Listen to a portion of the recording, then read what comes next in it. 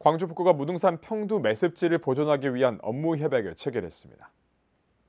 북구는 지난 16일 무등산 국립공원 사무소와 광주 환경운동연합을 비롯한 5개의 기관단체 등이 참여한 가운데 민관이 함께 평두 매습지를 보존하기 위한 평두 매습지 효율적 보존 이용 업무 협약을 체결했다고 밝혔습니다. 이번 협약에는 평두 매습지의 생물 다양성을 보존 관리하고 생태 교육 프로그램을 개발하는 등의 내용이 포함됐습니다. 한편 북구는 평두 매습지가 람사르 국제협약에 따라서 생태학적 보호 가치가 인정되는 람사르 습지로 등록될 수 있게 여러 사업을 추진 중에 있습니다.